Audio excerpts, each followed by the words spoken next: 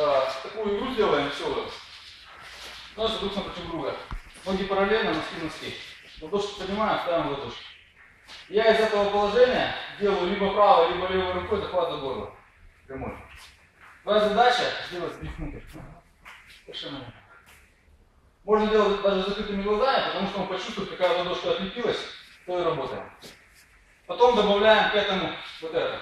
Тут уже глаза должны быть открыты, он должен либо поднять руку, сбить, правильно? То есть я отлепил правую, ты не знаешь, либо она сюда пойдет, либо сюда пойдет. И потом добавляем вот это.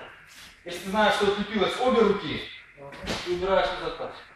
Начните с захвата за горло, то есть встали, и я держу руку. Потом э, захват, вот этот попытаемся сделать, да? Сейчас мы, а мы поговорим отдельно об отцовском захвате.